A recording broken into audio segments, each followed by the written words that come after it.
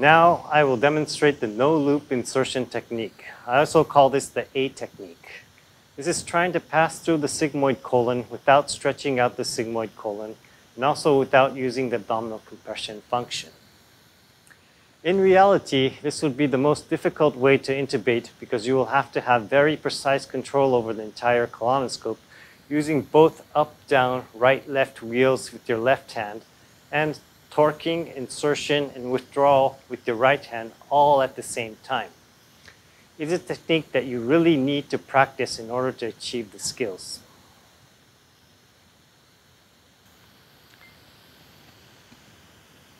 Now I will demonstrate the no-loop insertion technique type A pattern uh, with Mikoto. I will choose the standard mode. And I would always want to reset simulator to the initial setting and then begin my training.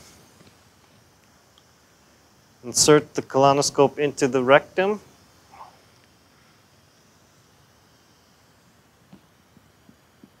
You always want to try to keep the lumen coming to the right.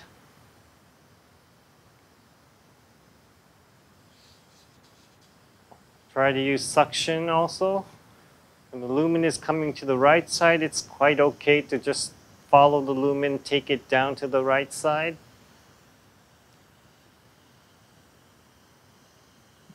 Very gentle and precise maneuvers.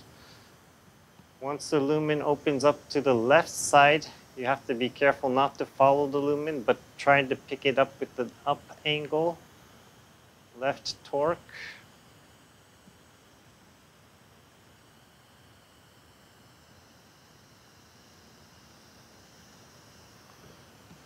Then the lumen open up to the right side again.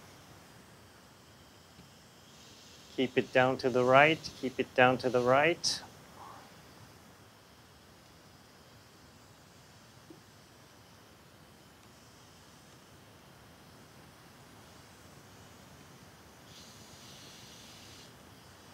Use suction again.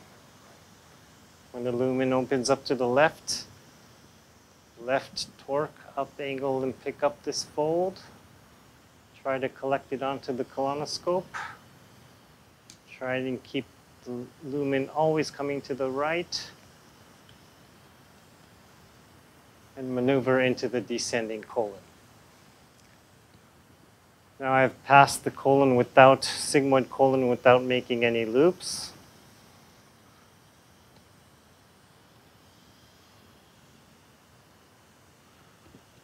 Now I'm going to the mid-transverse colon. This is going to be a slight push into the mid-transverse colon. At the mid-transverse colon, again try to find the opening to the hepatic flexure, ascending colon.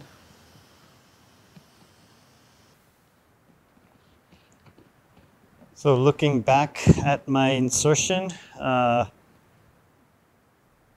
this is the score that I got, 97 points out of 100. As you can see, the elongation of the sigmoid, there's no elongation of the sigmoid seen here, so this is 55 points out of 55. And the time that I reached the sigmoid descending and cecum is also recorded. Where I lost points is insertion time was over two minutes. So I lost three points there. So that's why the point is 97 points.